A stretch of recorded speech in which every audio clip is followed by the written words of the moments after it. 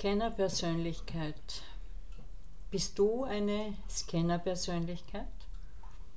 Ein nicht nur vielseitiger, sondern auch viel begabter Mensch?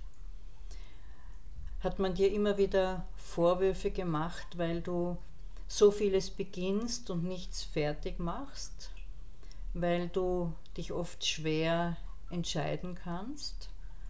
Weil du so unendlich viele Interessen hast und auf deinem Nachtkästchen immer mehrere angelesene Bücher liegen und so weiter.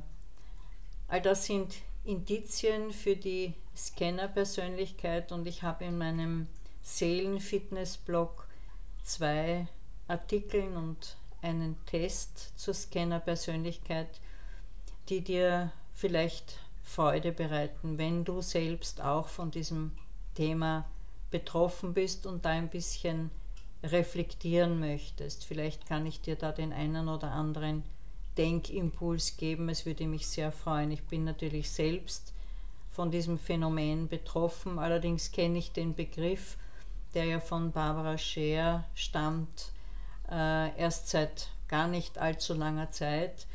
Aber ich weiß natürlich immer schon, dass ich ein ja, Multitalent bin, man kann auch bös ausdrücken, ein Hans Dampf in allen Gassen. Das ist immer eine Frage der selektiven Wahrnehmung. Für mich ist die Vielbegabung etwas Faszinierendes und es ist nicht besser oder schlechter als die Spezialisten. Das sind Menschen, die also eine ganz starke Begabung haben.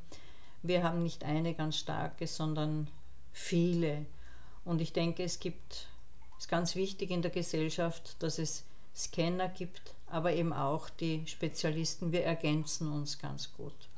Also wenn du ein bisschen mehr darüber reflektieren möchtest, dann lass dich von meinen Artikeln inspirieren. Ich setze die Links, es sind einige unterhalb dieses Videos, in die Beschreibung und würde mich freuen, wenn meine Anregungen dir wohltun und dich zum Weiterreflektieren verführen. Gerade wenn du Scanner bist, wirst du das ja lieben, in die Tiefe zu gehen.